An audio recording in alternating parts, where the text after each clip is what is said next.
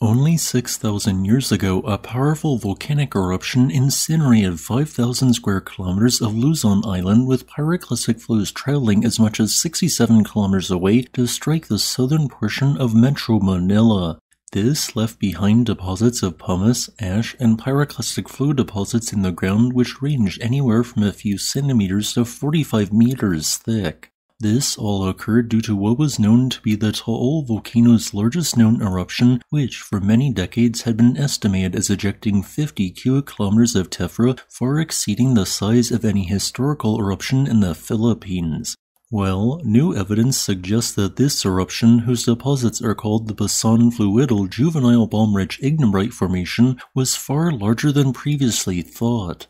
Instead of ejecting 50 cubic kilometers of tephra, new models instead suggest that as much as 144 cubic kilometers of tephra was released, marking that eruption of Taal as the sixth instead of the 25th largest explosive volcanic eruption to occur on the planet since the end of the last ice age 11,650 years ago. I am not too surprised of these findings as when I had beforehand looked at Taal's massive caldera rim which measures 33.5 kilometers wide and 29.3 kilometers long, I just knew that the pre-existing model of between 4 and 6 low to mid NVEI 6 eruptions forming this caldera complex couldn't be correct. Why, simply put, the caldera was way too large. However, this same scientific study recently published by Yannick Withus, which I will be discussing in today's video, also had more startling findings about what I personally deem to be the most potentially dangerous volcano on the planet. This paper not only models what each major eruption may have been like, but also came to a startling conclusion. In the last 6,000 years, Taal has been far more explosive than previously thought. Although the dates are mere estimates for the three youngest events, we now know that in addition to a VEI 7 devastating the area around 6,000 years ago, three VEI 6 eruptions appear to have occurred in addition in the time since. And yet, we don't know when these events occurred due to a lack of firm radiocarbon ages, although it appears that two of the three occurred between 5,000 and 6,000 years ago, while the most recent occurred sometime between 1,000 and 5,000 years ago. This has a number of implications, the least of which suggests that Taal may still have the potential to be hypothetically capable of producing additional similarly sized caldera-forming eruptions in the next 10,000 years.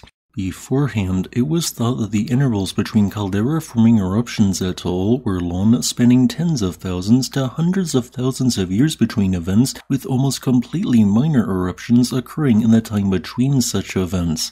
And it appears that this was true for some time, with one major eruption occurring 870,000 years ago, another 670,000 years ago, and then only two additional large eruptions in the following 664,000 years. Yet, for some reason, Taal seemingly entered an unusually active phase where the same number of caldera-forming eruptions that would normally take place across 1 million years occurred in less than 5,000 years. We know that after major explosive eruptions that volcanoes behave in generally one of three ways. A volcano either becomes completely quiet until the rapid buildup for its next major eruption, it only produces semi-frequent small eruptions for the following few hundred a few thousand years, or it produces semi-frequent smaller eruptions alongside a heightened rate of additional major eruptions. While beforehand the thought was that Taal fell into Category 2, I now suspect that it falls into Category 3, much like Papua New Guinea's Pago volcano. This seemingly fits the pattern of Taal's recent VEI-1 to VEI-4 eruptions. So, does this mean that Taal's hazard zone needs to be updated? In my opinion, yes, as Manila proper along with southern Metro Manila could be at risk if another hypothetical albeit unlikely high NVEI-6 to low NVEI-7 eruption occurs. However, there are currently no reasons to suspect that any large eruptions will occur anytime soon from Taal, and I mean the next few hundred years.